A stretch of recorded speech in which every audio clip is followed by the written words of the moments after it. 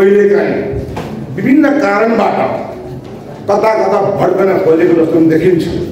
यसमा जुनसुकै आदि भाषा बोल्ने जुनसुकै धर्मका जुनसुकै जातका मानिस भए पनि यस्ता कुराहरू आए भने हाम्रो जातीय सद्भावलाई भड्कने काममा कसैले पनि कहीँबाट कतै मैले केही कुरा राख्दा मलाई कतै कसैको समर्थन मिल्छ कि भन्ने कसैले हामी कसैले राख्नुहुन्न? त्यो राख्यौँ भने मलाई लाग्छ हाम्रो सामाजिक एकता जातीय सद्भाव बिथोल्न सक्छ। यसमा अलिकति योभन्दा अगाडि तपाईँहरूलाई थाहा नै छ। त्यो हामी सबैको प्रयत्नले उपमा नगरका नगर प्रमुख व प्रमुख तपाईँ हामी सबै जनप्रतिनिधि यहाँका सबै नागरिकको साझा प्रयत्नले रोक्यौँ यसमा हामी खुसी मान्न पर्छ अब यो धरान कहिलेकाहीँ म सामाजिक सञ्जालमै हेर्छु तपाईँ टिका टिप्पणी गरेर नभन्नु होला मलाई मैले सुनेको कुरो मैले देखेको कुरो भन्छु हामी जुन परिवार छौँ जो हामी छौँ। काम गर्ने सन्दर्भमा छलफल गरेर सहकार्य गरेर अगाडि बढ्नु धेरै राम्रो हुन्थ्यो किन? हामीले हामीले गर्ने भनेको धरानको विकास धरानी जनताको पक्षमा न हो सङ्घीय तथा प्रदेश सरकारको अनुदान राजसभाको आय र आन्तरिक आय समेत मात्रामा रु बयासी करोड पचपन्न लाख साठी हजार आठ सय आठ मात्र अर्थात् कुल अनुमानको सडचालिस पोइन्ट अन्ठानब्बे पर्सेन्ट आय प्राप्त भएको छ। यसमा सङ्घीय सरकारको अनुदान चौन्न पर्सेन्ट प्रदेश सरकारको अनुदान अठाइस पर्सेन्ट राजस्व फाँटमा पैँतिस पर्सेन्ट र आन्तरिक आयतर्फ सडचालिस पर्सेन्ट भएको भए तापनि गत वर्षको मौजात रकमलाई हटाएर हेर्ने हो भने अडतिस पर्सेन्ट मात्र आन्तरिक आम्दानी भएको अवस्थालाई सन्तोषजनक मान्न सक मान्न सकिने नसकिने भएकोले यसतर्फ सभाको विशेष ध्यान जान आवश्यक देखिन्छ। यसै गरी व्ययतर्फ नगरपालिका र वडा कार्यतर्फबाट समेत गरी जम्मा रु त्रिसठी करोड अन्ठाउन्न लाख पैँतालिस हजार छ सय एकासी मात्र अर्थात् कुल व्यय अनुमानको छत्तिस पर्सेन्ट मात्र खर्च हुन सकेको छ। उक्त खर्चमध्ये पनि चालु खर्चतर्फ विनियोजित बजेटको जम्मा बयालिस पोइन्ट अर्थात् त्रिचालिस करोड उनासी लाख बाइस हजार छ सय अडचालिस मात्र र पुँजीगततर्फ विनियोजित बजेटको अठाइस पर्सेन्ट अर्थात् अठार करोड चौध लाख चौसठी हजार नौ सय सैँतालिस मात्र खर्च भएको छ। यसरी हेर्दा सात महिना अवधिको पुँजीगत खर्च सन्तोषजनक नभए पनि दसैँ तिहार जस्ता ठुला चाडपर्वहरू र वर्षाको समयलाई विचार गर्दा सङ्घीय सरकार र प्रदेश सरकारको हरूको तुलनामा केही बढी नै खर्च भएको छ। तापनि अबका दिनमा भने कार्यक्रमहरूलाई अझ सघन रूपमा सञ्चालन गर्नुपर्ने आवश्यकता देखिन्छ। उल्लेखित अवस्थालाई ध्यानमा राखी बजेट कानुनमा भएका समस्यालाई समाधान गर्ने उद्देश्यले यस उपमहानगरपालिका अन्तर्गत विभिन्न विषयगत समितिहरूको सुझाव समेतको आधारमा बजेट तथा कार्यक्रम तर्जुमा समितिको सिफारिस र नगर कार्यपालिकाको निर्णयबाट नगर कार्यपालिका र वडाहरूका लागि स्वीकृत केही कार्यक्रमको बजेट तथा कार्यक्रमका स्रोतहरूमा संशोधन गर्न आवश्यक देखिने यो प्रस्ताव पेश गर्दछु र नगर कार्यपालिकाबाट संशोधनको लागि प्रस्ताव भए बमोजित बिसैवटा वडाका संसदीय शीर्षकहरू अनि विषय समितिका पाँचैवटा समितिहरूले प्रस्ताव गरेका संसदीय शीर्षक र प्रस्तावहरू म सम्पूर्ण मान्य सभासदीहरूको हातमा पठाइएको छ र म यो बेहोरा जानकारी गराउँदै मेरो भनाइ यहीँ अन्त्य गर्छु। नमस्कार अभिवादन धन्यवाद।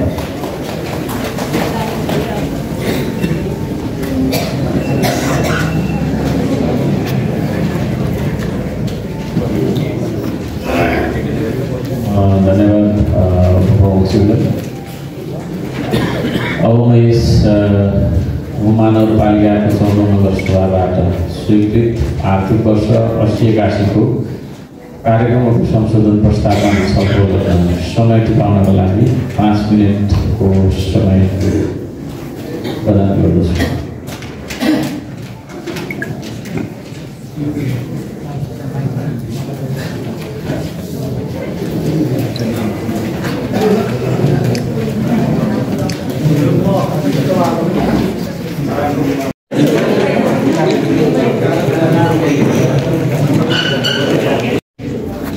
सर्वप्रथम त म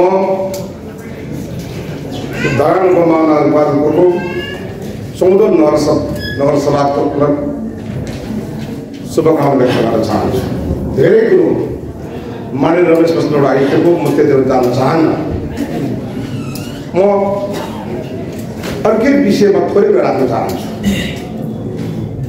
हामी धरानवासी धरान उपमहानगरमा बस्ने र हाम्रो पा उपमहानगरपालिका र धरानी जनताको सबैको आवश्यकताहरू पूर्ति हुनुपर्छ समस्याहरू समाधान हुनुपर्छ र सिङ्गो धरान समृद्धिको बाटोमा जानुपर्छ भने सबै यहाँ रहेका जनप्रतिनिधि नागरिक समाज बुद्धिजीवी राजनीतिक दल सबैको एउटै चाहना हो एउटै आवाज पनि हो। कहिले काहीँ अझ भन्ने हो भने हाम्रो देश नेपाल हामी साना सानो देश जनसङ्ख्या पनि थोरै विभिन्न जातिका मानिसहरू भाषाका मान्छेहरू धर्मका मान्छेहरू यहाँ बसोबास गरेका छौँ। र हामी यो धरानमा पनि विभिन्न धर्मका विभिन्न भाषाका विभिन्न जातका हामी मानिसहरू बसेका छौँ। एक आपसमा समस्या पर्दाखेरि ऐँचो पैँचो गरेर बसेका छौँ भने हाम्रो जातीय सद् सद्भाव हाम्रो सामाजिक एकता नेपालमा विश्वमा धेरै देशहरूमा यति साह्रो एकता छैन र कहिलेकाहीँ विभिन्न कारणबाट कता कता भड्कन खोजेको जस्तो पनि देखिन्छ यसमा जुनसुकै हामी भाषा बोल्ने जुनसुकै धर्मका जुनसुकै जातका मानिस भए पनि यस्ता कुराहरू आए भने हाम्रो जातीय सद्भावलाई भड्कने काममा कसैले पनि कहीँबाट कतै मैले केही कुरा राख्दा मलाई कतै कसैको समर्थन मिल्छ कि भन्ने कसैले हामी कसैले राख्नुहुन्न? त्यो राख्यौँ भने मलाई लाग्छ हाम्रो सामाजिक एकता जातीय सद्भाव बिथोल्न सक्छ यसमा अलिकति योभन्दा अगाडि तपाईँहरूलाई थाहा नै छ। त्यो हामी सबैको प्रयत्नले उपमा नगरका नगर प्रमुख प्रमुख तपाईँ हामी सबै जनप्रतिनिधि यहाँका सबै नागरिकको साझा प्रयत्नले रोक्यौँ। यसमा हामी खुसी मान्न पर्छ। अब यो धरान कहिलेकाहीँ म सामाजिक सञ्जालमै हेर्छु तपाईँ टिका टिकट गरेर नभन्नु होला मलाई। मैले सुनेको कुरो मैले देखेको कुरो भन्छु। हामी जुन परिवार छौँ प्रतिनिधि जो हामी छौँ काम गर्ने सन्दर्भमा छलफल गरेर सहकार्य गरेर अगाडि बढ्नु धेरै राम्रो हुन्छ किन? हामीले हामीले गर्ने भनेको धरानको विकास धरानी जनताको पक्षमा न हो। तर कहिलेकाहीँ कतै कतै हुन त अहिले सुधार मैले देखिरहेको छु। अहिले धरानको समस्याको सन्दर्भमा सिङ्गो पालिका उपमहानगरपालिका र नगर प्रमुखको जोड बदल्नु मैले देखिरहेको छु। र मलाई मलाई भन्न लाग्छ मन लाग्छ यहाँहरू सबैलाई हामीले सलाम पनि गर्नुपर्छ काम गरिरहँदाखेरि कतै समन्वय पुगेन कतै अलिकति केमिस्ट्री मिलेन भने पनि यति राम्रो सन्देश बाहिर नजाने रहेछ। जुन ढङ्गले आज हामी धरानवासीहरू धरान कुमार नगरपालिकाको बाहिर चर्चा छ त्यसलाई अझ बढी विश्वासिलो इज्जतदार इज्जतिलो ढङ्गले सबै लाग्नु भने मलाई लाग्छ हामी सबैको प्रयत्नमा धरानमा भएका समस्याहरू समाधान गर्न सक्छौँ। अब अघि नमस्ते प्रस्तुत गर्नुभयो हामी प्रदेश सभामा छौँ। हामीले धरानको सन्दर्भमा गर्नुपर्ने सहयोग हामी कहाँ पुग्नुपर्छ यस विषयमा हामी कहिले पनि यो दलबाट त्यो दलबाट भन्ने हिसाबले त्यो कहीँ कतै पनि राख्दैनौँ। यहाँहरूले भन्नुभयो यहाँहरूले सहयोग माग्नुभयो यहाँले जानकारी गराउनु भयो भने हामी दिल खोलेर दिल खोलेर यहाँसँग सँगै हातेमा गर्न तयार छौँ। म यिनै कुरा राख्दै मेरो बयान गर्छु। धन्यवाद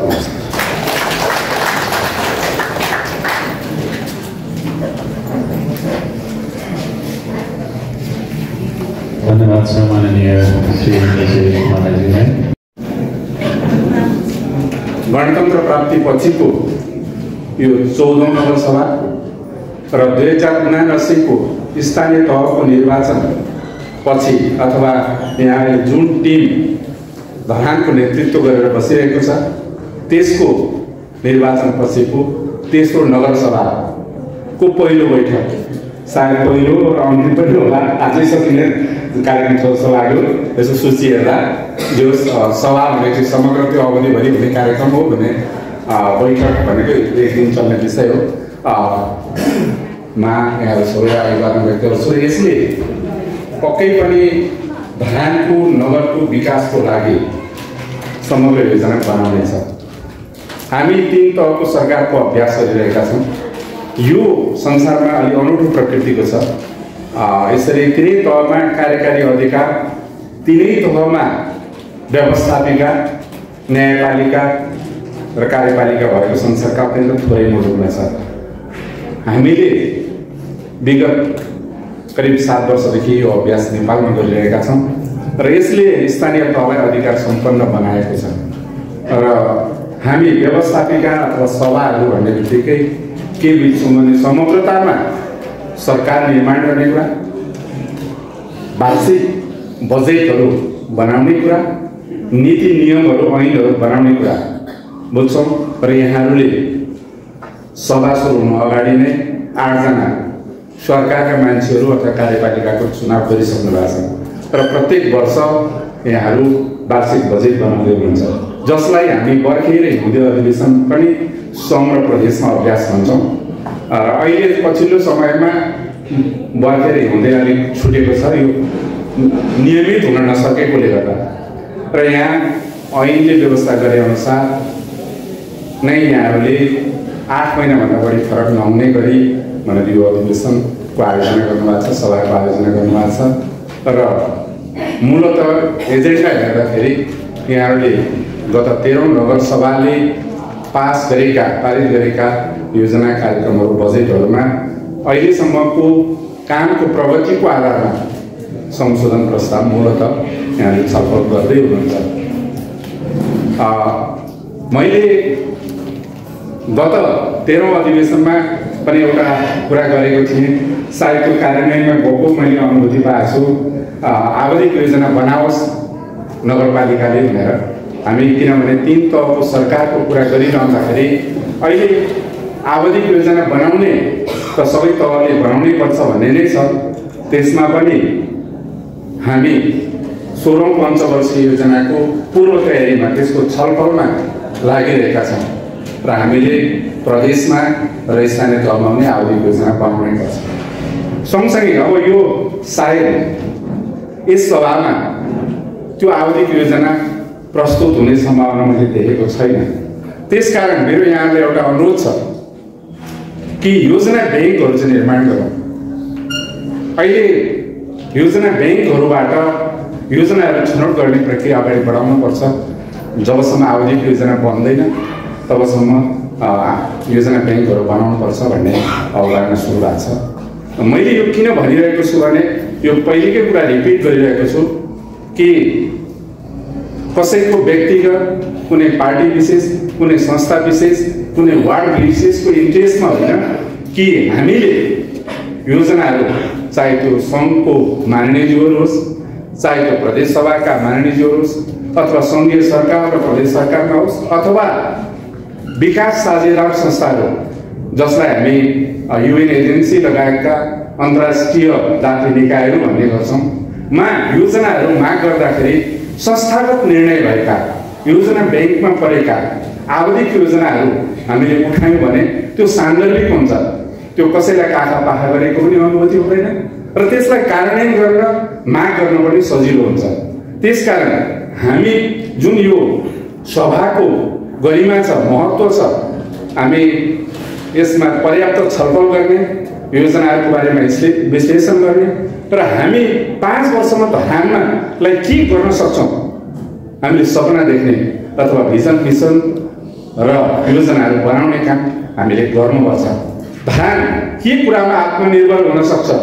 के कुरा हामीले अरूसँग अपेक्षा गर्न सक्छौँ अहिलेसम्मको अहिलेको धानको अवस्था ठ्याक्कै के छ? प्रति व्यक्ति आयदेखि लिएर उद्योग धन्दा पेसा व्यवसाय लगायतका विकासका स्थिति अहिलेको विश्लेषण गरेर हामी पाँच वर्ष कुन गन्तव्यमा पुग्न सक्छौँ?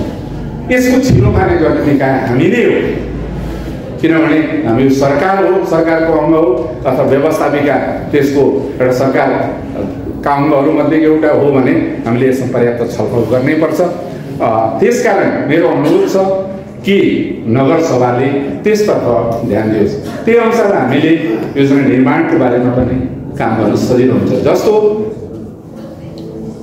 हामी प्रदेश सभाको अधिवेशन सुरु हुने बेलामा नगरपालिकामा मेरो साथसँग छलफल पनि गरेका थियौँ। धरानको पहिलो आवश्यकता के हो? सबैको एउटै आवाज छ।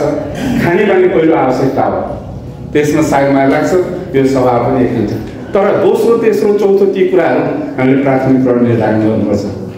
प्रदेश सभाले त्यही भएर सायद यो आर्थिक वर्षमा सबैभन्दा बढी बजेट धरानको खानेपानीमा विनियोजन गरेका छ। त्यसको कार्यान्वयनको चरणमा छ। त्यसमा गौरव गरिहाल्ने विषय छैन मैले किन यसो भनिरहेको छु भने तर्किन खोजी नभन्नु होला धरानमा सञ्चालन भएका थुप्रै योजनाहरू चाहे त्यो सङ्घका हुन् प्रदेशका हुन् समयमा सम्पन्न नगरेको कारणले कतिपय गुणस्तरमा प्रश्न चिन्ह उठेको हुनाले हामीले गौरव गर्ने स्थिति छैन जसको धरान हडिया सडक एउटा प्रदेशको गौरवको आयोजना त्यो समयमा कार्यान्वयन हुन सकेर मैले यो तपाईँहरूले टेन्सन भने हामी सबैले वाच गर्नुपर्ने र योजना परिहाल्यो भन्दैमा गौरव गरिहाल्ने स्थिति हुँदैन। त्यसका लागि कार्यान्वयनमा समयमा पुरा गर्नेदेखि लिएर त्यसको गुणस्तरको बारेमा हामीले चासो राख्नुपर्छ। जस्तो त्यस्तै सहयोग गरेर काम अगाडि नबढेर समस्या भइरहेछ यस्ता मैले छोटकरीमा भनेका त्यस्ता थुप्रै योजनाहरू जो बजेटमा समेटिएर पनि कार्यक्रममा आएर पनि कार्यान्वयन भइरहेको छैन जनताले देख्ने भनेको चाहिँ त्यो कार्यान्वयन भइसकेपछि त्यसको परिणाम आइसकेपछि हो। त्यसकारण हामीले ती कुराहरूमा ध्यान दिनुपर्छ। त्यसमा तपाईँहरू राम्रा योजनाहरू बनाउनुहोस् सम्पन्न हुन गर्न सक्ने धानको आवश्यकता भएका योजना बनाउनुहोस्। त्यसमा हाम्रो तर्फबाट यहाँको जनप्रतिनिधिको हैसियतले प्रदेश सभामा मात्रै होइन प्रदेश सरकारलाई मात्रै होइन हामी सङ्घीय सरकार र अन्य निकायहरूमा समेत फलो गर्नेछौँ। यो प्रतिबद्धता व्यक्त गर्न चाहन्छौँ। त्यसै गरी हामीले विकास निर्माणको कुरा मात्रै होइन यो सरकार आफै भइसकेको हुनाले सुशासनका विषयहरूमा अरूसँगको सहकार्य र सहजीकरणका बारेमा पनि हामीले नीतिहरू निर्माण गर्नुपर्छ। अहिले कोशी प्रदेशमा एक सय सैँतिसवटा स्थानीय तहहरू छन्। हामी अहिले छलफल गरिरहेछौँ कुन कुन तहले आफ्नो ऐनहरू कानुनहरू कसरी बनाएको छ विधिको शासन के कति अवलम्बन गरिरहेछ त्यो हामी विभिन्न स्थानीय तहको छलफल गरिरहेछौँ त्यसकारण हामी त्यसमा अब्बल देखिनको लागि छलफल अगाडि बढाउँ।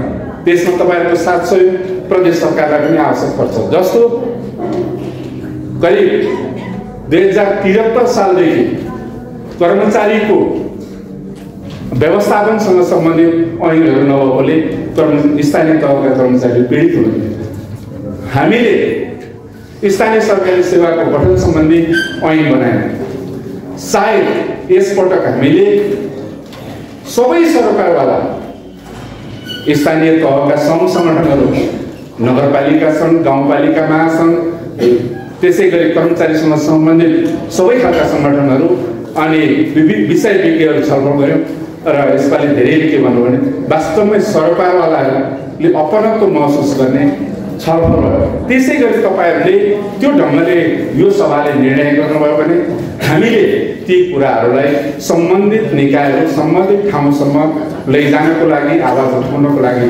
सजिलो हुनेछ र हामी ठ्याक्कै मापन गरेर भन्न सकौँ एक्काइसौँ शताब्दी सूचना सञ्चार प्रविधिको युग मात्र होइन? कि यो तथ्याङ्कको युग पनि हो। त्यसकारण मापन गरेर हामीले यति काम गऱ्यौँ यो गऱ्यौँ त्यो गऱ्यौँ भनेर धेरै होइन। धेरै भन्ने शब्दले अमुक हुन्छ राम्रो भन्ने शब्द अमुक हुन्छ। डेटा बेसमा चाहिँ हामीले भन्न सक्ने स्थिति सृजना गरौँ। यसमा तपाईँहरू पर्याप्त छलफल गर्न सक्षम हुनुहुनेछ।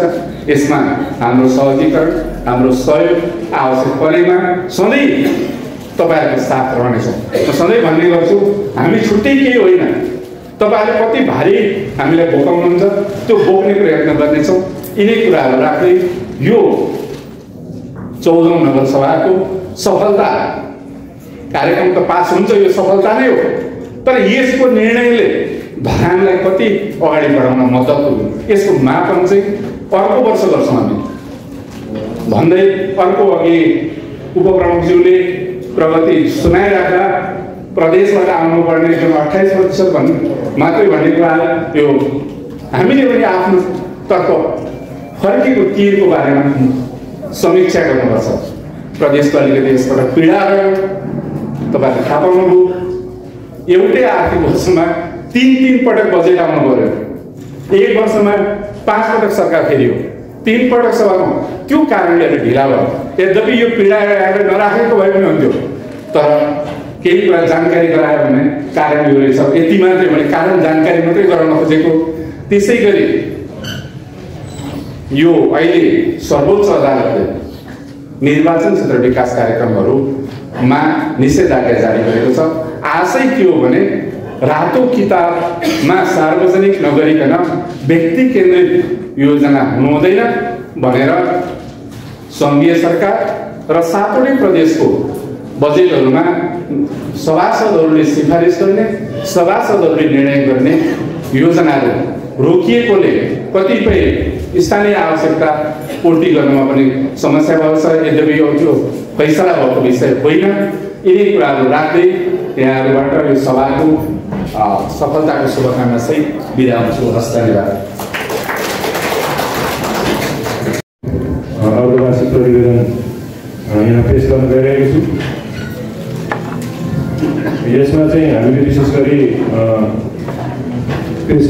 बेरुजी फक्सटलाई चाहिँ यसपालि विशेष ध्यान दिएर कार्य गरेका छौँ र यसमा म बस्ती भाषण गर्न गइरहेको छु। श्रीमान सभाध्यक्षज्यू नगरसभा धरान उपमहानगरपालिका सुनसरी विषय प्रतिवेदन पेश गरिएको। महोदय उपयुक्त विषयमा धरान उपमहानगरपालिका अन्तर्गत रहेको अर्थ तथा सार्वजनिक लेखा समितिले उपमहानगरपालिकाको विगतदेखि नै बेरुजुत फसलका लागि नगरसभामा आवश्यक कागजातहरू पेश गरी बेरुजुत फसल चलाउने काम गरिरहेको जानकारी गराउँदै यस नगरसभामा आर्थिक वर्ष दुई हजार छिहत्तर सतहत्तर दुई हजार छिहत्तर सतहत्तर हाम्रो दलको पैँतालिस सालभन्दा पछाडिदेखिको बेरुजुहरू धेरै बाँकी छन्। दुई हजार छिहत्तर सतहत्तरमा पेस भएको मलेप प्रतिवेदनमा उल्लेख भएका नियमित गर्न सकिने बेरुजु विषयहरूलाई अध्ययन तथा छलफल गरी मिति दुई हजार अस्सी साल फागुन एघार गते बसेको अर्थ तथा सार्वजनिक लेखा समितिको बैठकबाट निर्णय गरी उल्लेखित बेहोरा भएका विषयहरूमा जम्मा छ करोड तेत्तिस लाख एकचालिस हजार आठ सय बिस रुपियाँ अठार रुपियाँ छ करोड तेत्तिस लाख एकचालिस हजार आठ सय बिस मात्र नियमित गर्न मनासिब देखिएकोले तथा अघिल्लो कार्यकालका मेयर स्वर्गीय तारा सुब्बा युनिभर्सल पिस फेडरेसनको निमन्त्रणामा थाइल्यान्डको राजधानी ब्याङ्कक भ्रमणमा जाँदा भ्रमण बापत रु सत्तरी हजार निजका निजी सहायक देवाङ राईले पेस्की लिई खर्च भए पश्चात आवश्यक कागजातसहित दैनिक भ्रमण भत्ता खर्चको बिल तथा प्रतिवेदन नगरपालिकामा पेस गरेकोमा विविध कारणवश फसेट हुन बाँकी रहेको फसेट हुन नसकी बेरोजगार कायम हुन आएकोले मिति दुई हजार अस्सी साल मार्च सात गति अर्थ तथा सार्वजनिक लेखा समितिमा पेस की प्रस्तुतका लागि निवेदन पेस गरेकोमा पेस भएको भ्रमण बिल तथा कार्यपालिकाको दुई हजार चौहत्तर साल माघ बाह्र गते बसेको बैठकको निर्णयको आधारमा प्रस्तुत गर्न सिफारिस गरिएको छ ब्रह्मके भट्टराई संयोजक अर्थ तथा सार्वजनिक लेखा समिति धनन्दी महानगरपालिका र यसको साथमा हजुरले पछाडि हेर्न सक्नुहुनेछ यहाँ चाहिँ हामीले पहिलो कोलममा छ दफा दोस्रोमा छ बेहोरा र तेस्रोमा छ रकम। यो चाहिँ आर्थिक वर्ष दुई हजार छिहत्तर सतहत्तर सालको चाहिँ अ, कुन कुन दफामा चाहिँ के के बेहोरा भएका अ, रकमहरू कति कति बेरोजु भएका थिए भन्ने कुराहरू चाहिँ यहाँ उल्लेख गरिएको छ। यो सबैको जम्मा रकम टोटल चाहिँ रहेको छ छ करोड तेत्तिस लाख एकचालिस हजार आठ सय बिस रुपियाँ। र यी बेरोजु भएका रकमलाई चाहिँ हामीले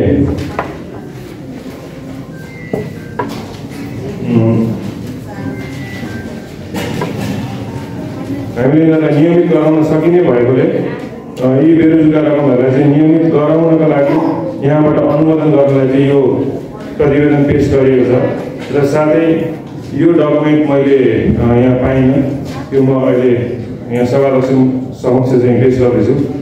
र स्वर्गीय मेयर तारा सुब्बाज्यूको चाहिँ यो युनिभर्सल पिस फेडरेसन एसियाले उहाँलाई एउटा कभर लेटर उहाँलाई इन्भिटेसन पत्र पठाएको यो पत्र। साथै अन्तर्देशीय अन्तर्राष्ट्रिय भ्रमणको लागि भ्रमण आदेश। अनि धरानको महानगरपालिकामा टिप्पणी आदेश। लगायत उहाँले दैनिक भ्रमण खर्चको बिल। र साथै दुई हजार चौहत्तर साल माघ बाह्र गते बसेको आठौँ नगर कार्यपालिका बैठकको निर्णयहरू। मैले यसै साथ यहाँ पेस गर्ने टेबल गर्ने अनुमति चाहेँ धन्यवाद। म यो आजका सभाध्यक्ष महोदय समक्ष पेस गर्दछु।